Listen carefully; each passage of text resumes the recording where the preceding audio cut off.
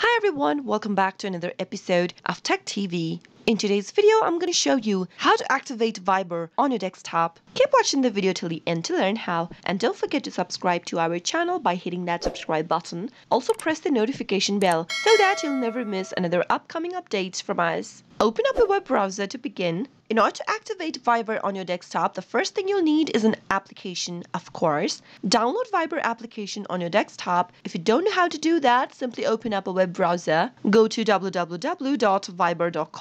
into the search box. And once you land on the official web page of Viber, click on Download Viber, which will help you download the Viber application on your desktop. Once you have it, simply click it open. The first interface of your desktop Viber will look like this. In order to use Viber on your computer, you'll need to follow these instructions displayed on the left hand side of the pop-up. Simply go grab your mobile device and open up your Viber application. Once you do that, tap on the More button in the lower right hand corner and tap on the QR code icon at the upper right hand corner from your profile page. Once you do that, you'll be able to see a QR code reader displayed on your screen. Simply place the QR code in the center of the square, right where your QR code is available on the screen of your computer. And once you do that, you'll need to approve a secondary device activation by tapping on Approve. Tap on Yes in order to confirm your selection on activating Viber on your secondary device. And now you have activated Viber on your desktop.